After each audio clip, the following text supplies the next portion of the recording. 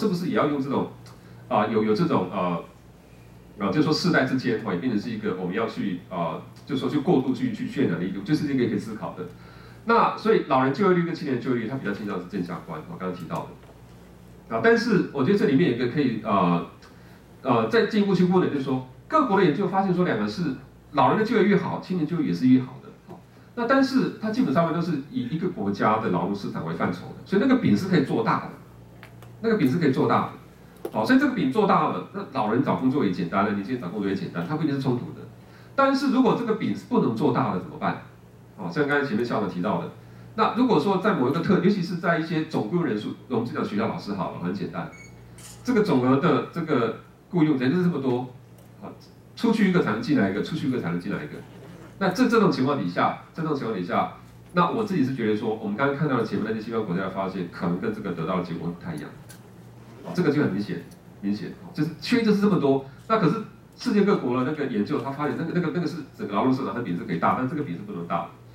那所以呃，在这种情况底下，哈，那我自己哈，就是说呃，在一些呃有机会去发言的一些场合，大概我的想法哦，大概都是一样，就是说，我自己是不认为说应该把呃哪一个特别的行业别挑出来，那你去从事什么工作的时候，你的年纪应该有什么特殊的对待？好，基本上面我就回去思考说。退休金的意思什么意思？这个制度它定位是如何？哦当然可能很多不同的各家各各呃这个不同的理论这样。那台湾好像我们的呃以军工价为例好了，好像我们把这个退休金当的是一种工作的酬赏，资深工作的酬赏。你工作了几年就可以领退休金，哦，所以你工所以如果你很年轻的进入劳动市场，你很年轻就可以退休，即使你还有工作能力，还有赚取所得的能力。但是在一百年前，大家开始思考年金这个制度起源的时候，它很重要出发点就是说。人到了某种年龄的时候，因为工业化的发展，他在劳动市场他不太能够靠自己赚钱的，所以他需要有一个所得的来源。那所以从这个思维去看，年金这个制度，我们退休金应该是给谁来领？是给没有办法来靠自己赚钱的来领的。好，那如果从这个角度去看，如果你还可以继续赚钱，你离开了这个工作机会，你还可以继续有另外一个所得能力的话，那是不是你的年金该怎么去看待它？那我们看西方有些国家，包括美国在内，他们处理方式就是说，如果你离开这个工作机会，你也做的够久了，年龄够大了，那你是有资格去领某一个相关程度的年金给付。但如果你还有其他的工作能力机会，不管你是做什么，我都鼓励你。但是你去那边赚一块钱，你的退休金就少一块。不管你去哪里赚都是一样。譬如说，哦，是这种方式。我们现在失业给付就是如此嘛。我们现在的失业给付就是说，你符合你投保劳保投保一年，然后你失业非自愿失业，你可以领六个月的失业给付嘛。那但是这六个月不是每个人都要等六个月嘛？有人三个月就找到工作了，那你就是我鼓励你三个月就提前找到工作，那但是我后面三个月你就少领了，但是我给你提前就业的奖金，哦，所以我这个世界给付的目的是你最长可以领六个月，最多是可以领六成，但是也不是每个人都一定要领足这个，那你特殊条件不到六个月你就找到工作机会了，你有别的所得来源，那所以世界给付是用什么样的方式然后去做一些调整？那我是觉得说这个样的一个方式，基本上面是可以把它思考。那在年轻止付这个方式，好，那我也觉得说，我们现在好像呃社会上有些有个说法，就是说，为什么公立学校老师到私立学校去特别不行？因为私立学校他拿学校的补助，拿国家的补助嘛。那他们到民间机构去，他到举例来说哈，他到这个呃这个台积电到这个红海去，这台积电红海他没有得到国家的租税优惠吗？搞不好更多哎，这大学补助一年搞不好几千万了不起，那这些大企业一年得到政府的租税优惠是几十亿的，好，那难道他？为什么那个得到政府几十亿的租税优惠？虽然不是给他几，他是少少缴了几十亿嘛，只是没有拿，这不是我给你而已嘛。对，所以就说，如果我们把一个特殊的行业比拿出来，又变成，我觉得这是没完没了的。好，那事实上我们是可以参加一些国，参考一些国家的做法，就是说，是不是如果说这个人退出劳动市场，他还有赚取所得能力的时候，他原来的那个年金的这个给付的权益，他是不是可以用什么样的方式去重新做一个思考？好，那回归说，那退休金这个概念，退休金这个制度厉害啊，是不是？呃，可以去重新再做一些讨论。如果这样的话，我觉得是不是就不会有一个特殊的行业被又被跳出来，好像是一个啊，这个呃，去承担这样一个制度的后果。哦，那这样子也也另外一个就是说，是不是我们在讨论这个世代的问题的时候，那也不会第一个不会特别针对哪一个是啊族群，也造成阶级的这个这个争议，也不会另外一个也不会造成这个世代之间的这个呃比较很多不理性的一些讨论。好，以上是啊简单的一些浅见发表，谢谢各位。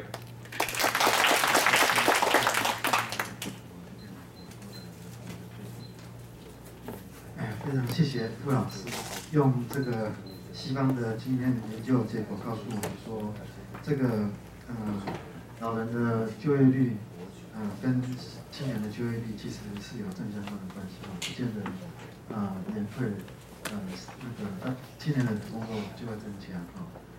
那另外那个傅老师也告诉我们，就是说啊啊他的反思的结果就是啊如果已经退休领啊可以领年轻的人，他如果有另外一种工啊高龄的工作机会的话。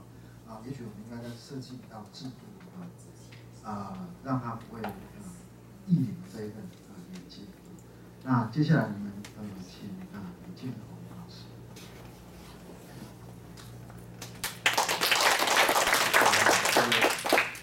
呃，不好意思，我就因为最近期末时间很赶，就没有准备资料。那不过我首先我有大概四点个人的浅见。那第一个就是说，我。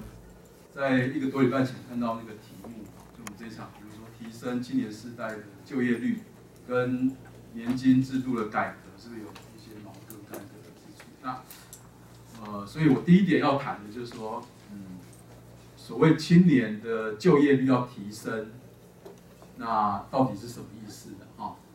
那就是说，那我们要回到说什么叫就业率？那一般会有一个迷思说。就业率要提升，那就是失业率下降。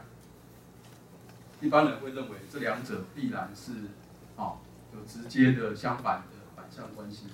可是事实上并非如此。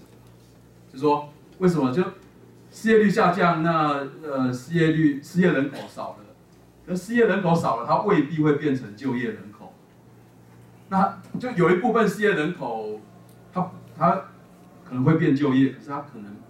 不是就业，那他可能会变成什么人口呢？他我们一般会说，他可能变成非劳动力人里人口里面的所谓确制工作者。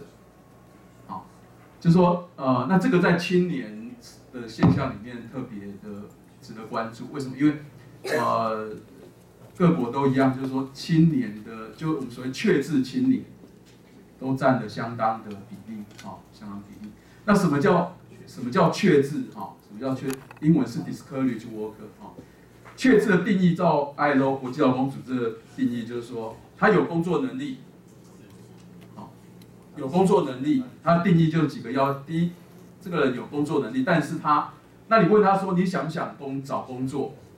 他说我想找工作，但是你如果再去观察说你有没有真的去找工作的行为？没有。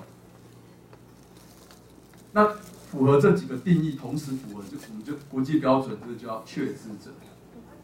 那确制者在确，我刚刚前面讲确制青年特占了相，在青年的人口里面占相当比例。那大概是多少人呢？哈，如果照主计总处的调查，以去年的资料来看，哈，十五到二十四岁的确制青年大概有五万八千人左右。好，那呃。二十五到二十九岁的确制青年大概是两万千人左右。好，那如果我们所以如果我们照国际标准，那因为照国际标准，青年的定义是指十五到二十四岁。所以如果照这个标准的话，可是我们台湾社会很多都说二十五到二十九也是青年。好，好，那如果我们先不管怎么样，如果就算把二十九岁都都放进来，我们也是四万三千个确确制青年。那四万三千名确实青年跟超过十二万多、快十三万名的失业青年来比，老实说只有不到三分之一，将近三分之一。就说相对，他确实是一群人，大概占了三成，可是它相对少。那这个有什么意义？就是说，嗯，回到我们这个主题，我刚刚讲第一点就是说，一般人认为，呃，失业人口减少，失业率下降，那就业率就会提升。我必须要说。很多的情况下未必啊，两者未必是相反关系。那关键点就是说，有一些年轻的失业者，他会不会他变成就他去找工作找了一段时间，他呃却步了，他退出劳动市场，不再有找工作行为，这时候他变确制青年。那当确制青年的人口数越来越多，那么。青就算青年失业率下降，青年的就业率也未必会上升。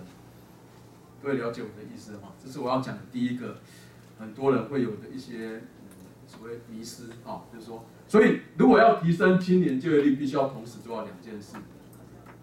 第一个，青年的就业人口减少，好，减少啊。第二，而且确制的青年也要减少，这两件事必须要同时发生。好，如果它不是同时发生，那青年就业率就未必会上升。好，这是我要先对这个题目做一些啊个人的浅见说明。好，那我们说，那那这个跟年金制度的改革有什么？我我就就回到我前面讲，呃。因为确制青年要减少的重点是让这一个就什么叫为什么会变确字？一般认为会有两个原因哈，就是呃他找工作找了很久，这时候他是失业者，有有有有找工作的行为，这时候他才是失业者。好，那呃如果他没有找工作的行为，他就变成确字。那时候老师你讲了这么多确字这么拗口的话，用白话讲。我们通俗一点的话，有没有形容词？有。我们台湾社会非常喜欢用几个有点贴标签、污名化的名词在形容缺资青年，就啃老族。可是我正是要说的第二个迷失，抱歉，我多花点时间，就我们台湾社会完全误解了，把它混淆了。混淆在哪里？我们说啊，某一个年轻人，那个还。那个一直那个没有工作，这啊在家里面靠爸爸妈妈养，这是啃老族，甚至靠爸族都出来。最近不是那个很有名的艺人，他的儿子，女性主持人，他哦也出问题。那我要讲的是，这是一个非常严重的混淆，误把确制青年当做失业青年是严重混淆。为什么？因为确制青年是非劳动力人口，他已经不在，他已经退出劳动市场。退出劳动市场就不能够纳入失业人口、失业青年的计算范围，因为失业人、失业者是有寻职行为的，他是劳动力人口的一种，所以确制青年、啃老族、靠爸族他是非劳动力的，他已经退出劳动市场，他不能够算在失业青年里面。可我们台湾社会都把这两个混为一谈，说啊，混为一谈的严重后果是什么呢？这两种人的性质。跟他的问题特性完全不同。当你把把确制青年混为失业青年来谈的时候，你就把问题诊断分析错误了。事实上，各国政府都一样，这两种失业青年跟确认青年都是需要协助的青年，可是他们的问题不同，所以方法也要不同。好，这是我要再理解啊。然后说，那回到问题，那那那个呃。青年的就业率要提升，跟退休制度改革有没有什么矛盾？呃，回到就是说，确制你要把它减少的话，确制为什么确实找工作找很久都被拒绝，都找不到？好，这是第一个啊。第二个就很多景气差，没有工作机会，他很难找。当他找了很久都找不到，他退出劳动市场不再找的时候变确制。所以呃，我们一般会担心说，他这个你要把确字减少。让就业率能够提升的话，那就涉及到说，是不是这一个，嗯，不要让他不要变，不要让失业青年变成长期失业青年，因为一旦他变长期失业青年，那么他很可能找了很多，他变长期失业之后，他可能某一个时间点他就退出了，不再找工作了。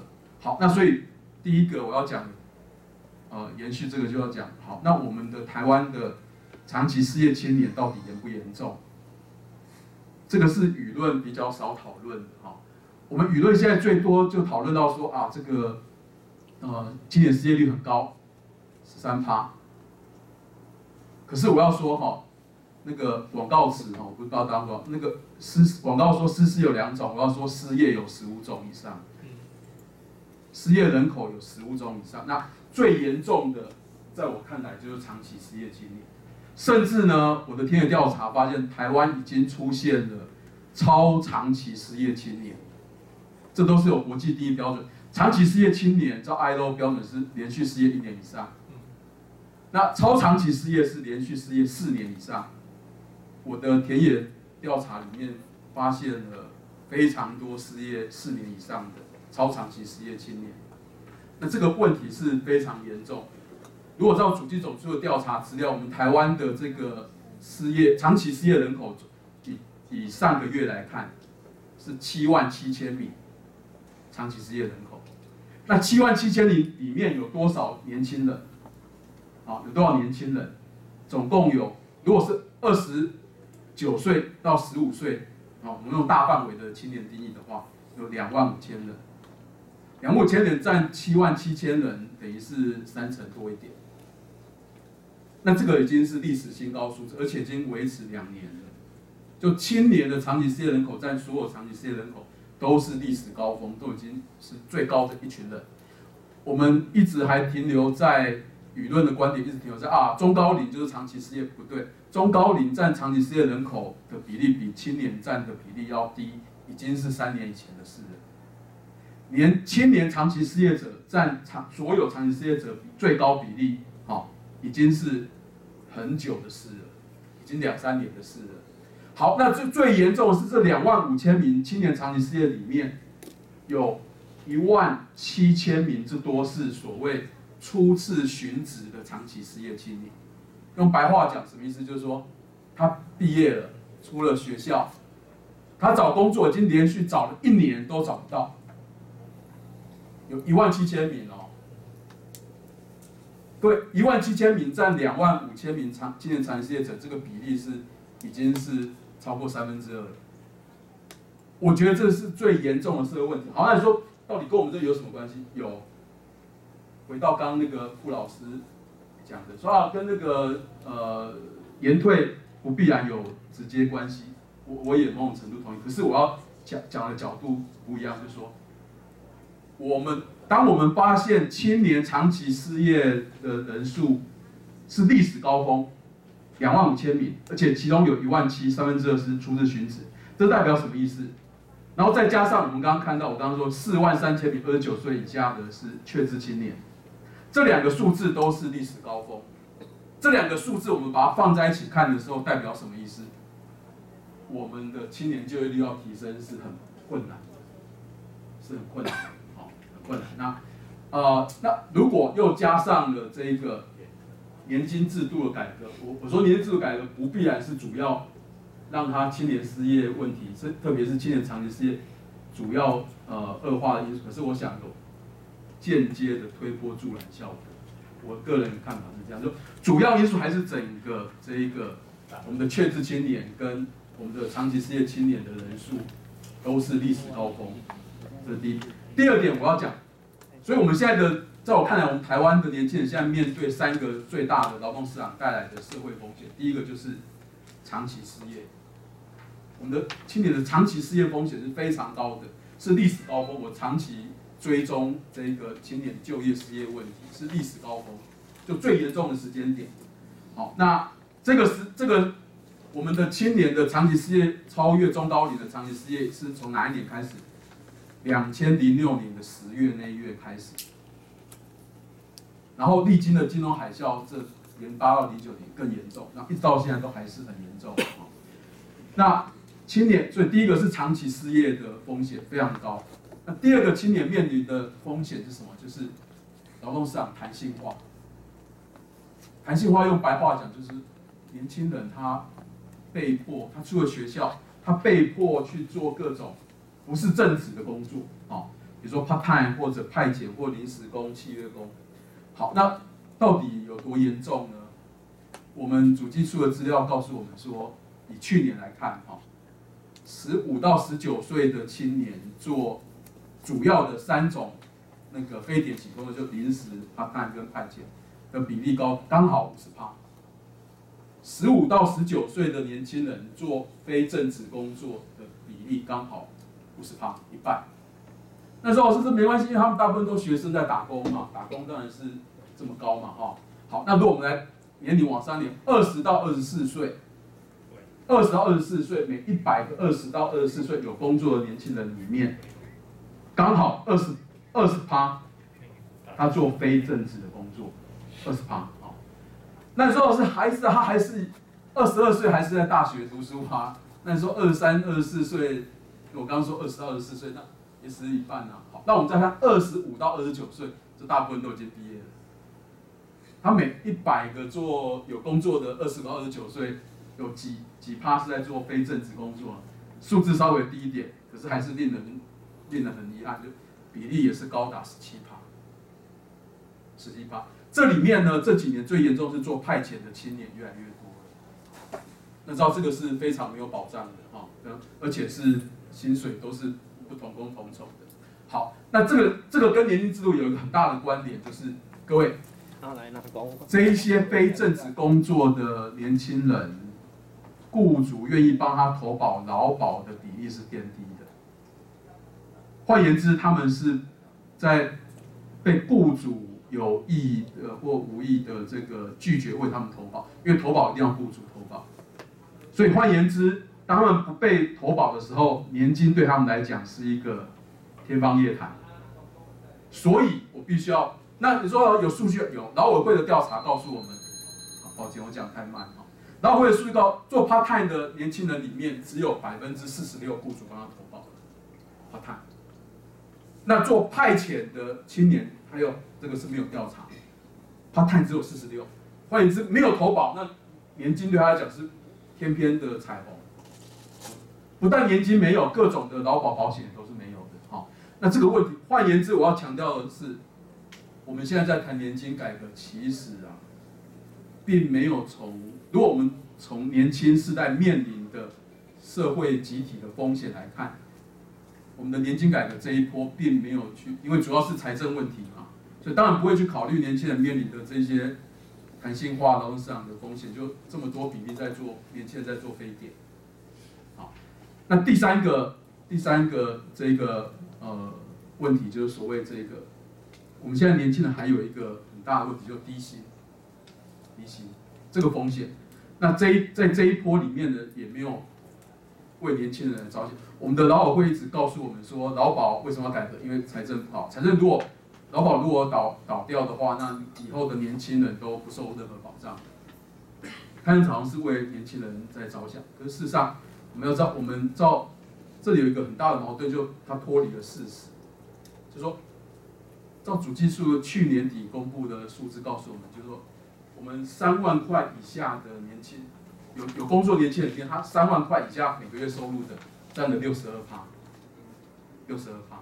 那其中一万五到一万九千九百九十九块的年轻人，占的比例是超过两成。所以换言之，这是一个。普遍的低薪区，那低薪区是跟年金制度改有什么关系？有我们的费率已经告诉我们要逐年提高到十八趴，所以我们试想一个真实很可能发生的状况，就是年轻人他低薪，六十二趴是领不到三万块，那他的费率要逐年提高，换言之，他每个月的未来逐年每一个月年轻人的每月可实际支配所得会越来越少。那这样的一个状况，代表什么意思呢？就是说，这个劳保保费的缴交的负担对他来讲是越来越重，越来越重。好，那如果我们再加上他还有比如说健保、二代健保，啊，甚至还有这一个税金，每就我们的年轻人可以预期的是，在低薪化的这个大和风险之下，年轻人的每个月扣掉各种保险、各种的税金、各种福利金。他的可支配实际所得是会越来越少，那个那这个对年轻人来讲，换言之，呃，他是一个没有办法满，他能够满足他基本生活需求的能力越来越低，好，这是一个可预见的一个一个趋势。那总体而言，我认为啊，就是我们劳保这一波，因为它改革是为了财政改革，那财政的负担减少，那所以。他忘记了一个劳保是一种社会保险，社会保险有一个最重要的政策目标，就是透过保保险的方式来保障最大多数人，然后集体分担最大多数被保险社会风险。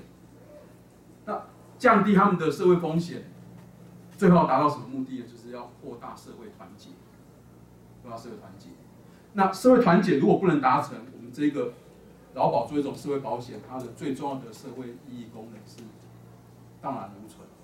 那在这一点上，显然是呃没有去考虑到整个劳动市场的变化对年轻人带来的越来越多的风险，还有年资制度改革应该要呼应这种劳动市场风险扩大的问题来做改革。那这一波显然是没有看到。谢谢。谢谢呃金凤老师对我们提出的分享哈。那提到这个呃啊目前呃青年劳动市场的现象，那很多的雇主没有为为将近一半以上，将近一半的雇主没有为这个安探的呃青年劳动者投保。那也包含说青年低薪化的状况。如果我们在做劳保改革的时候，可能要考虑到这个费率的问题，是不是会实际的影响到这些低薪青年的生活？好，那我们是不是请三位可以到前面来，就是看看啊大家啊各位啊有没有对三位任何的问题，或者是评论，或者说意见啊？我想是不是我们这个时候？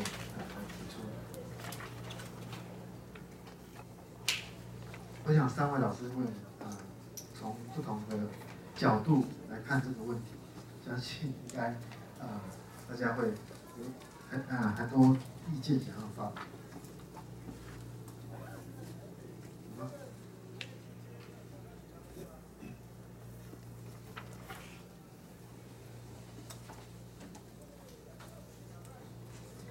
哎，各位亲戚，大家好。呃，我今年我八一年开始教书，我今年教书二十一年哈，看起来不像像三四十年了哈。好，这个就教育给我们的一些那个然后摧残哈。好，那我今天主要提到是因为今天提到一个梁校提到哈失陪的问题哈。那现在这一波的年金改革，它很直接学印的要求老师要做延退，刚可能教授有提哈，虽然退休的那个什么老呃老年人的退休的一些时间更长，没有，但是我们教育是一个封闭的市场。刚才校长也提到，当我们面临到延退的时候，那个新陈代谢让世代交替就会变成延缓。哦，那接下来如果假设我们真的从七五改到八五或九年的时候，那势必上会有五年的空窗期出现。那我不知道这个师培这个单位目前有没有什么异议？因为我们从来没有听到师培单位对延退提出你们反对的意见。哦，这是我比较质疑的啦。哈，第一个就是说，当我们在做师培的工作的时候，那我们的我们所培育出来学生，那可能面临到五年是找不到任何一个工作机会的产生，这是非常有可能的。哦，那如果今天是一个农家，他面临到我的收成呢，五年卖不掉，这些东西全部可能会变怎样？堆肥又回到田里面去，那是不是适度考虑一下？那我们干脆这五年就休耕，那我们的师培是会不会因为这样？我们就五年做一个五年的师培休耕的工作。好，感谢，谢谢。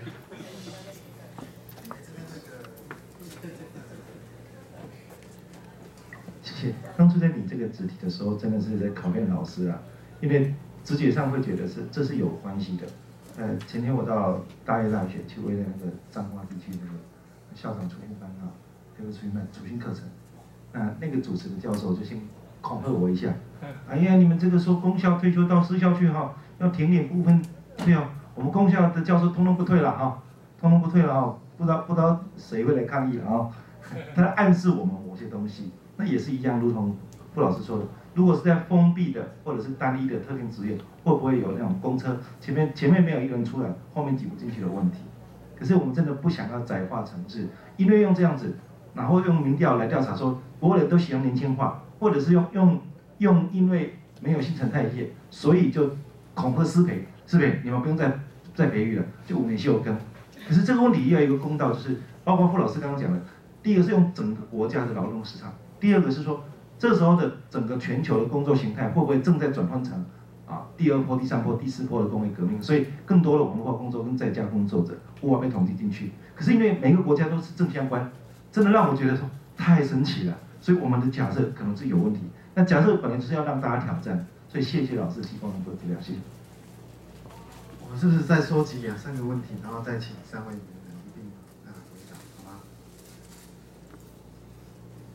知道各位还是大家那个，早上到现在。好，谢谢主持人。有个问题想就叫于校长啊，